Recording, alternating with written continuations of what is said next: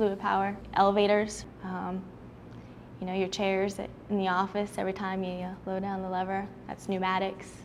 Uh, I guess part of the beauty of fluid power is it's such a simple thing. It's, you know, you have a cylinder, you have a pressurized liquid that's pushing one way or the other. So, Fluid power, it's a way to move really big stuff really fast in a really small package.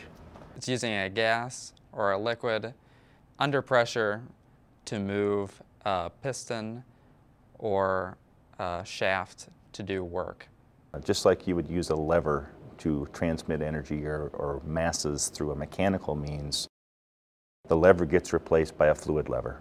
And you can compress or expand that fluid to create more or less lever forces on your end result.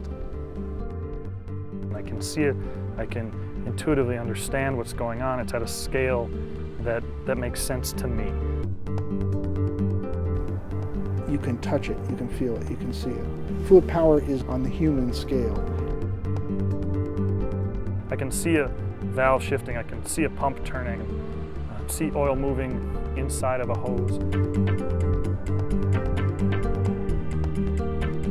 Touches our daily lives. You find it in entertainment industries, you find it in large construction machinery, in agriculture equipment, and in a nutshell, it's a lot of power in a very tiny package.